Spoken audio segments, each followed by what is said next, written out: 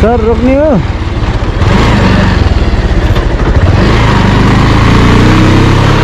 के भने?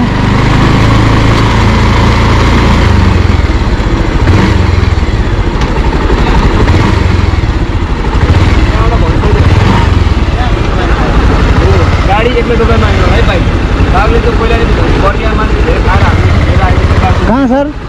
यो सिक्काबाट चाहिँ भागेछ कि सर राति? के बाघ त बाघ ए यो बाटोमा पनि भेट्ने सम्भावना छ? हजुर यिनै हो यही बाटोमा त्यही भएर बाइक चाहिँ दुई तिनवटा बाइक चाहिँ फर्क्यो होइन? जानुहुन्छ भने गाडीको बिचमा जानु होला तपाईँहरू है? ओहो। एकदम होसियार हुनु होला त्यो चाहिँ। कति एउटा राति भएको कि? हजुर। हिजो राति एउटा? सँगै गएर के गर्ने हो बाहिर भेटाएर त हामीले त खायो खायो। आफै होसियार हुनु होला होइन? अब हामीले जानकारी गराउने काम हो हाम्रो त बाइक नछिट छिर्नु नदियो भनिरहेको छ हामीलाई परबाट अब तपाईँहरू जानुहुन्छ। आफै हो। होइन म त भे- यो रोडमा त भेट्छ छैन यसले त कोही गाडीबाट। त्यो रातिको कुरो अब गाडीलाई अहिले भेटाएको छैन होइन। अब त्यसले चाहिँ धेरैवटा मान्छे भइरहेको छ मान्छे। त्यही बा मान्छे खाने बाघ हो। तिन चारवटा बाइक चाहिँ फर्क्यो। जाने बाइक चाहिँ फर्क्यो अब तपाईँहरू आफै गर्नुहोस् अर्को बाटो छैन सर? अर्को बाटो सर झन् जङ्गल बाटो छ हाइवे बाटो हेऱ्यो। समस्या छ सर। त्यो भएपछि आफै त्यो विचार गर्नु है। भागेर तपाईँ पनि नेपालमा जाने हो? नेपालमा जाने सर। के गर्ने?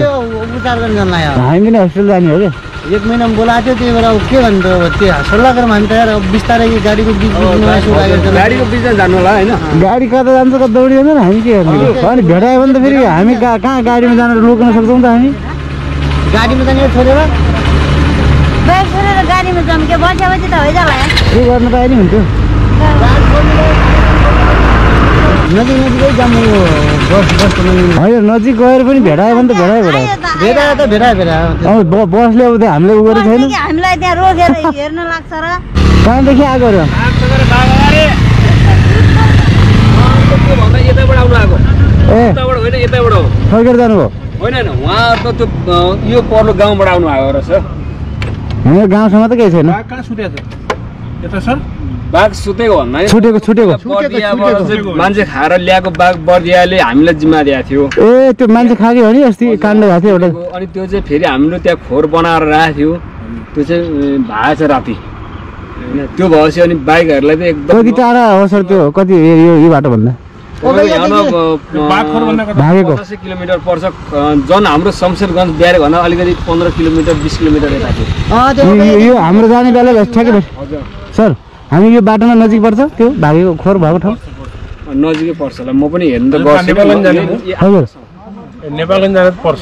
नजिकबाट त्यो भागेको। म त कुसुमसम्म हो। कुसुमसम्म? कुसुम त होइन त यिनै गाउँ हो। समस्या तपाईँलाई त होइन तै पनि अब बिचमा जानुहोस् न। के छ जनावर एकै ठाउँमा बस्दैन। कहाँ पुग्छ भन्ने कुरो थाहा हुन्न त्यो। हो कि होइन? उता नेपालगञ्जबाट कति मान्छे आइरहन् म त अब भर्खर मात्रै आइपुगेँ यहाँ भाइ। ड्युटी भर्खरै आयो। उहाँहरू आयो कि?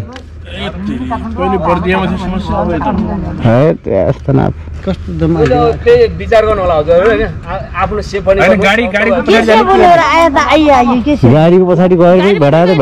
गाडी होइन गाडी गाडी त्यस्तो भने होइन कि उता गाडीको पछाडि लगाउँथ्यो कि। अनि गाडी उता ठुलो गाडी आएपछि बाघहरू त्यति छिटो आक्रमण गर्दैन।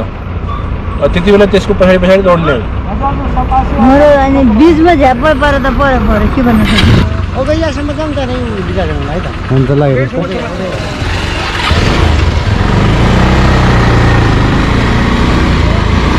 जनावर यार। अस्ति मान्छे खाएको बाघ चाहिँ भाग्यो पछाडि खोज्दा त सबै केही दिन पारेर आउनु पर्ने यार है हेलो नमस्ते सबैजनालाई। विशेष कुरो चाहिँ के हो भने हामी रुकुमदेखि दाङ हुँदै नेपालगञ्जको बाटोमा लागिराखेका थियौँ नेपालगञ्ज जानको लागि। र बिचमा यो अमेलिएको जङ्गलमा नेपाल आर्मीको टोलीले एउटा बाघ दुई चार महिना अगाडि मान्छे खाएको बाघ चाहिँ खोरबाट भागेको भन्ने हामीलाई सूचना दिएको छ। र हामी पनि अब यो नजिकै गाउँ भेटियो भने त्यहाँ बाइक त्यहीँ राखेर गाडीमा जाने हामीले योजना बनाएका छौँ। र हिजो मात्रै चैत्रको नौ गते राति बाघ खोरबाट भागेको भन्ने हामीले जानकारी पाएका छौँ र सम्पूर्ण यस रुटमा बाइक यात्रा गर्ने सम्पूर्ण साथीहरूलाई म के भन्न चाहन्छु भने आदि अब त्यो बाघ नियन्त्रणमा आएको नआएको आधिकारिक जानकारी नपाउन्जेलसम्म तपाईँहरू सकभर यो रोडमा बाइक यात्रा नगरिदिनु अनुरोध गर्न चाहन्छु। किनभने जीवनभन्दा अरू ठुलो केही पनि छैन। तपाईँहरू सुरक्षित यात्रा गर्नु अनुरोध गर्न चाहन्छु।